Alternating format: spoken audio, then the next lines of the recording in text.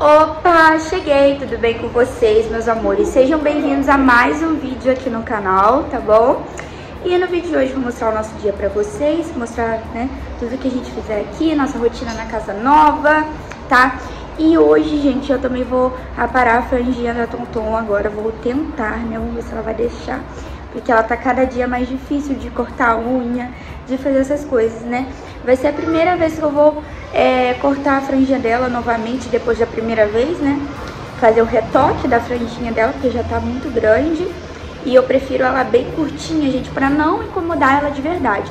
Porque senão ela fica incomodada, ela fica tirando do olhinho e isso eu não gosto.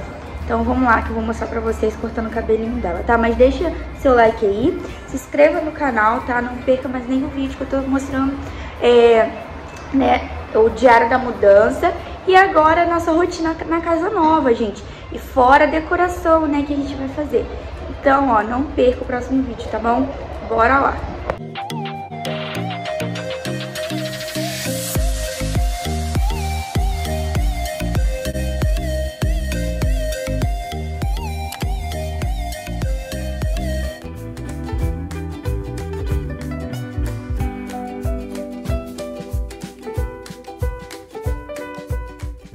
A gente tá botando um negócio só pra não cair cabelo na, na roupinha dela.